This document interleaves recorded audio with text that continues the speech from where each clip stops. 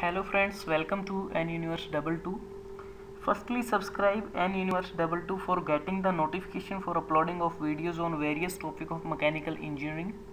You will also join its Facebook page that is www.facebook.com N Universe Double Two. If you you will like this video, please share with your friends and students and also on social medias. And you can ask your queries by commenting and if you have any suggestions please suggest us for improving the work. So now let's start the video. This video that is basically comprises of the previous year gate IES PSU questions from production engineering and the topic is unconventional machining process which contains USM, EDM, ECM, CHM, LBM, AJM, WJM, EBM etc and that is totally basically multiple choice questions are here in this video. So let's start the video